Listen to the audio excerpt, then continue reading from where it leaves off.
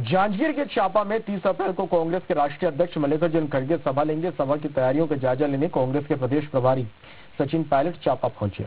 IBC 24 से बात करते हुए सचिन पायलट ने कहा कि छत्तीसगढ़ और देश में कांग्रेस का अच्छा माहौल है। इस बार भारी बहुमत से जीत होगी। हर वर्ग को कांग्रेस साध रही है। जनता की गारंटी की जीत होगी। तीस अप्रैल को चापा में कांग्रेस के राष्ट्रीय अध्यक्ष मल्लिकार्जुन खड़गे जी आ रहे हैं और स्थल निरीक्षण के लिए प्रदेश प्रभारी सचिन पायलट जी आए हैं, उनसे बात करेंगे। किस तरह का माहौल आप देख रहे हैं छत्तीसगढ़ में पूरे देश में? बहुत अच्छा माहौल है। कांग्रेस के पक्ष का है। सभी वर्ग, किसान, नौजवान, अगड़े, पिछड़े, महिला, बुज़ुर्ग सब चाहते हैं कांग्रेस की वापसी हो। और विधानसभा चुनाव में हम कामयाब नहीं हुए थे, लेकिन लोकसभा में अच्छा मौका जनता को मिला है। शिवराज जी हमारे प्रत्याशी हैं और सोच समझ के पार्टी ने उम्मीदवार बनाया है और भारी मतों से जीतेंगे यहाँ से।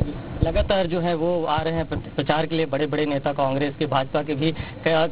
किस तरह से बात नेता छोटा बड़ा नहीं होता जनता से बड़ी होती है। पब्लिक जो निर्णय करती है वो सबको मानना पड़ता है। लोकतंत्र में लोकशाही में मतदाता की जो उम्मीदें हैं उस पर खड़ा उतरना हमारा दायित्व बनता है। शिव डेरिया जी यहाँ पर एक ऐसे उम्मीदवार हैं जो हर वर्ग को साध रहे हैं और मुझे लग रहा है यहाँ पर बहुत भारी बहुमत से कांग्रेस पार्टी विजयी में मोदी की गारंटी राहुल की गारंटी भी हाँ। मुकेश?